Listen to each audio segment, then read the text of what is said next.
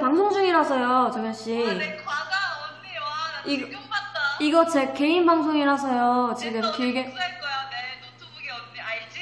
네, 죄송한데 잘 안 들려요. 뭐라고요? 어, 노트북이 알지? 알았어. 뭐라고요? 삐!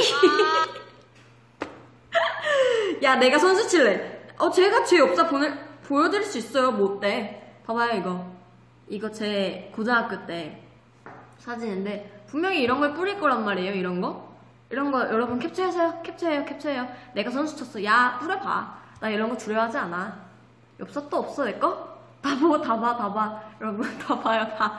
다 봐. 다 봐봐. 네. 네.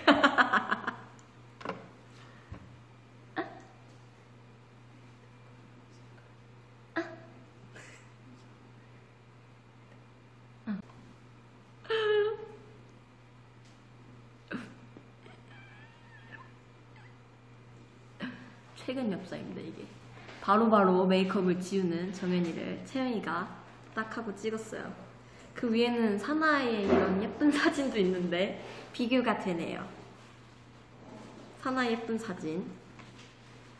이게 이 위에는 피디님 엽사라서 사나이 예쁜 사진이 많네. 사나이 예쁜 사진 공개해야지. 그리고 네 이런 정연이 엽사였고요 나 비행기 모드 했으니까 전화 올 일 없어요. 괜찮습니다, 여러분. 네. 뭐였지? 이거 맞아. 나연이의 serendipity. 숙소에서 싸우겠네. 배 아프겠다. 음. 제 엽사 다 뿌리는 걸 허락했어요. 삐졌나봐. 너무했나? 귀엽지 않았어요? 귀여웠는데? 네. 마지막으로 네, 정연이한테 한마디 하고 저는 이미 갈게요. 미안해, 고멘나사이.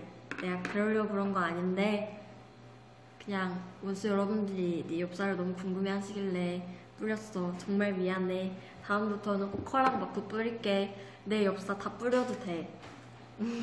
사랑해.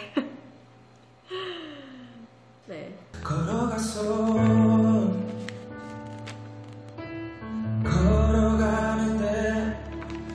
不恨。